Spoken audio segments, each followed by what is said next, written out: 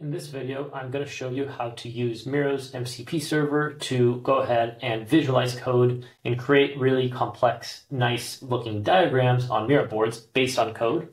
So we're going to be using VS Code and GitHub Copilot to showcase this. And we're going to first be visualizing an open source GitHub repo, OpenUI 5, uh, developed by SAP. And that's going to basically, we're going to take that URL, analyze it, and output a diagram on this Miro board. And secondly, we're going to visualize internal code base, something that we're working on, and showcase all the frameworks and the uh, architecture of our code to help onboard engineers quicker. So let's get right into it. I already have my prompt uh, already spelled out here, and I'll be going through it just a second.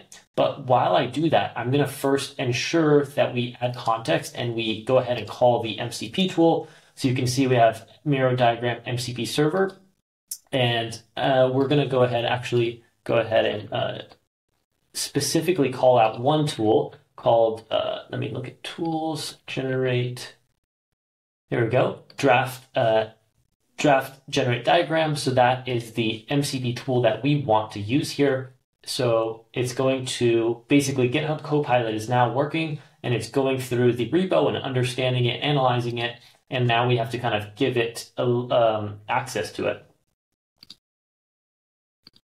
So now you can see that it's using this text description to add this diagram to the Miro board. So in just a couple seconds, it should be on this board.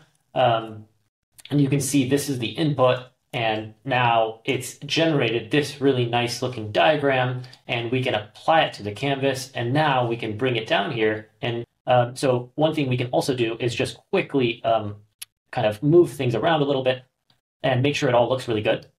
So that's basically a really quick, um, really nice diagram based on the UI5 SAP repo. And now let's do the opposite, which is actually to go ahead and look at our code on our uh, workspace and then visualize that. So let's go ahead and do that. So that's scenario number two. So basically, we have our internal code base within VS Code, and now we want to use GitHub Copilot to um, analyze that. So let's go ahead and do that.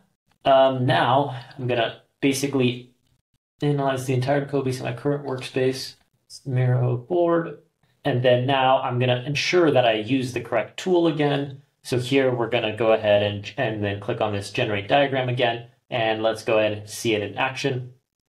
So as you can see, GitHub Copilot is working hard now to understand the code base. So here's the code base um, that it's looking at. So now you can see, again, um, it's passed in a text description, and it should be adding this new diagram here in just a couple seconds. So it's basically based on this, um, this prompt. So there you go. It's added this diagram. Let me bring it over here. I'm going to apply it to the canvas. And then I'm going to bring it over here so we can look at it. So what's really nice is we can actually go into focus mode, get a little bit closer here too, and we can see what we have. We have a logger, we have an API server, we can see the functions and the types as well. We have webhook route, automation controller, uh, Slack service, header scanner, Jira service, and these are all basic uh, security headers config, and that's basically kind of what that app does. So that's a, a really nice way to quickly visualize that. And I'll show you that code really quick as well, so you can see it as well.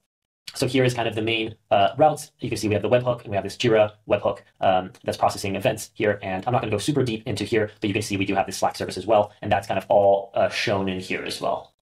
Uh, and again, you can go ahead and really work with it, adjust it. You want to review this, but that's kind of a high level uh, what Miro's MCP server can do from a code to diagram.